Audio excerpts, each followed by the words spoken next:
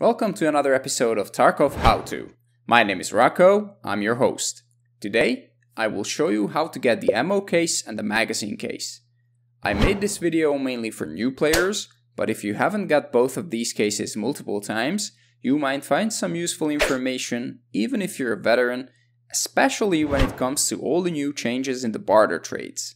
Let's get started.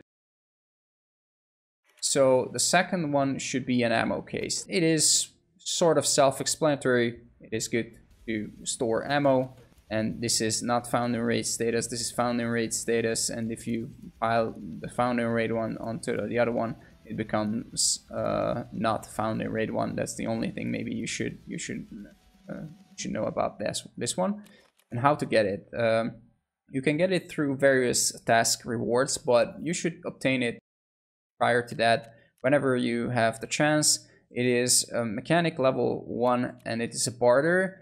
The green gunpowder and two thermites are that you need to turn in uh, in order to obtain this one. And if I remember correctly, there's no other, no, there's one more, I'm sorry. Uh, the level 2 mechanic sells it for 180,000 rubles as well.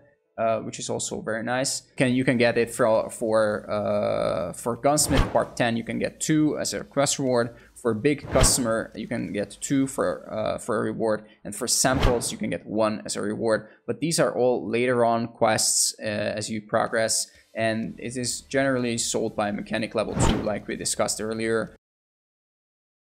The magazine case is a case for only magazines and you can put in a bunch of different types of magazines from pistol magazines to every every kind of magazine in the game and uh, later on you can get it two ways.